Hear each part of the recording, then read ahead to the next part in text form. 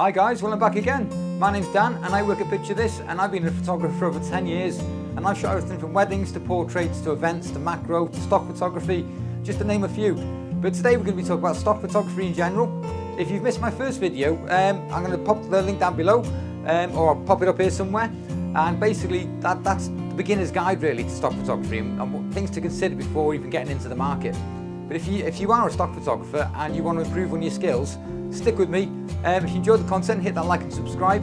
Um, I'm quite a new channel, but I've noticed over the last couple of videos is people are watching, but nobody's subscribing. So show some love, guys and girls.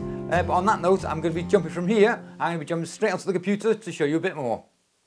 Well, thanks for sticking with me, guys. Uh, well, today I've got 10 images to show you, and all different, and all different varying reasons. But the first image I'm going to show you today is the picture of the Labrador.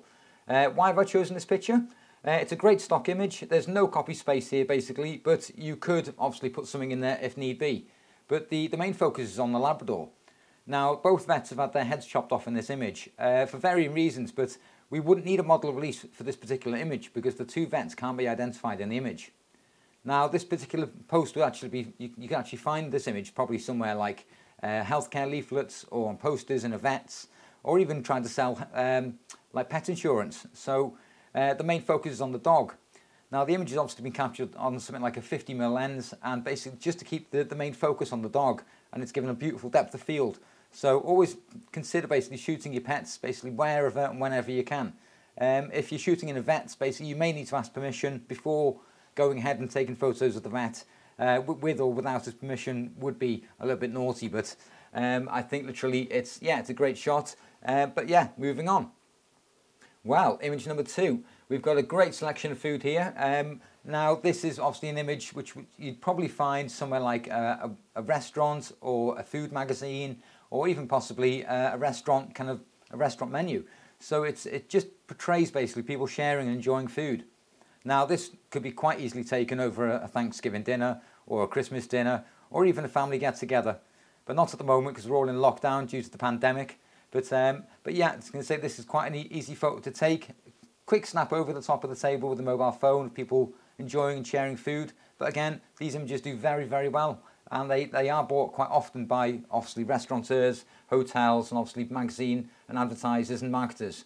So, um, yeah, keep snapping, guys. But I'm going to move on to the third image. Now looking at image three here, basically, we've got this gentleman uh, using technology, using his laptop and a graphics tablet. Maybe he's a designer, maybe he's a graphic designer. But these images are obviously portraying him using technology, so this could be used anywhere from an electronics store, it could be used on somebody's website or even on graphic material, uh, so stuff like um, like leaflets and flyers, just to portray the, the, the image of people using technology. But these images do sell very well. I don't know whether you need a model release for the gentleman because you can't actually work out obviously who it is, but it's, it's basically down to the stock agency. If they have a problem with it, um, they can reject it and ask you to re-upload it with the, with the model release. But personally, I don't think you'd need one, obviously, because he's not actually in shot. Um, but again, these images do very well. I'm moving on to image number four. We've got a couple of doctors here. Could be a couple of nurses, could be a couple of dentists, who knows. But I think the giveaway is the stethoscope around their necks. But this obviously portrays basically teamwork in the medical field. So this image could be used anywhere from a medical leaflet down to health insurance, life insurance. You could even see this in the hospital. So again, if these two doctors here have obviously had their heads cut off again, so again, you probably won't need a model release for this particular image. But again, if you're going to be shooting in somewhere like a hospital, please, please ensure that you get permission from obviously the doctors or the nurses and possibly the establishment of where you're shooting. Otherwise, they can turn around and ask you to leave. And if not, basically, they could possibly even phone the police. So um, please, please be careful about shooting in places like hospitals.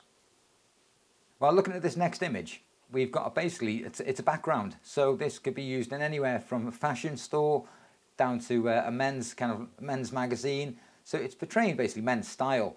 Uh, there's not much copy space in here, but again, it doesn't necessarily need copy space. It could be just used for a block on the right here with a bit of text. And it just basically portray, portrays gentleman's fashion, I suppose. Um, but yeah, these can be found in stuff like stores, on, on clothing websites, etc. So again, these, these pictures are, are pretty much put together by, by, the, by the stock photographers. So they, they, they do use a wooden background or wooden, wooden paper and they actually take, take the items and build the picture together. So um, these are obviously put together by professional stock photographers, um, but again, these sell very well. Now, some backgrounds do better than this. Um, they could be just a plain background, a wooden background with nothing on it.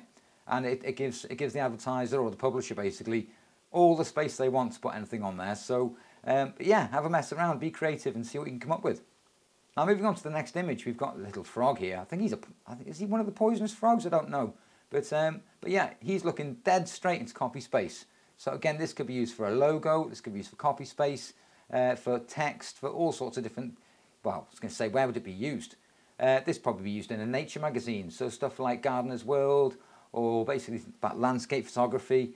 So yeah, there could be lots of different places this image could end up. But have you ever been to a restaurant before and you've seen pictures of, of wildlife on the walls? Because I have, you know, it's and usually there's something in the image as well. So it could be something like a menu, it could be anything in there. So, uh, but yeah, uh, this has been shot with probably a 70 by 200 lens, possibly even a 300 because it's got beautiful depth of field um, you can't really see much in the background, but keeping the frog in focus. It's a great image, great stock image. But again, it's going to say experiment and be creative. Moving, moving on to this image, well, this is concept, concept uh, stock images basically. So these are put together by designers and illustrators and graphic designers, etc. So it's quite a simple kind of idea. Um, I say idea with a bulb. But um, again, I did not design or take any of these photos, but these images do very well. Uh, as the, it, it, these could be used on any, any form of kind of merchandise, advertising, marketing, websites. These, these images could end up anywhere. Um, they could, they're usually used to fill space up, as there's no copy space, but again, they're used as a bit of a, a distraction on a magazine. But uh, great idea, do very well in sales.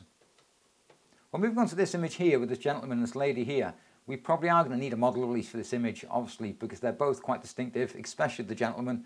Um, now, the, these images can end up anywhere from business meetings to obviously, um, this, this image actually, actually, displays meeting up, having a coffee meeting, uh, possibly business, uh, it could be for marketing. So this image could be anywhere really, so from anywhere from uh, business magazine to business website, marketing and advertising. So every image tells a thousand stories. So basically we need to look at each image and literally based on its own merit.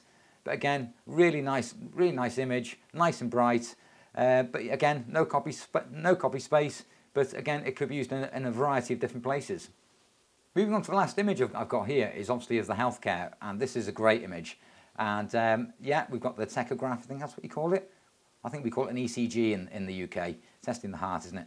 But uh, anyway, moving on, look at the image. This is a great image. It talks, uh, well, the image is talking about healthcare and basically there's enough room for a logo or text. So, and this nurse here obviously just displaying obviously the healthcare side of it. But uh, again, this image could be taken with her on the left, with her on the right, with her in the middle, and leaving space either side. So yeah, I was going to say, these images sell very, very well. Well, I hope that's been some use to you guys. Um, well, I've been shooting stock photography for around about five or six years, and I've only beginning to understand the market. But I've been shooting photography for over 10 years, been doing weddings and events and portraits and pets and macro and long exposure, etc. So I've been shooting lots of different formats, but I'll be, I'll be teaching lots of people the different skills and the different techniques that I've picked up over the 10 years of being a photographer. But if it's been any use and you've learned anything from this video, hit that like and hit that subscribe and turn on the notification bell so that you'll be informed of every time I upload a new video. But I'm going to leave it there, guys. I hope it's been some use, but uh, like and subscribe, and I'll see you in the next one. Take care.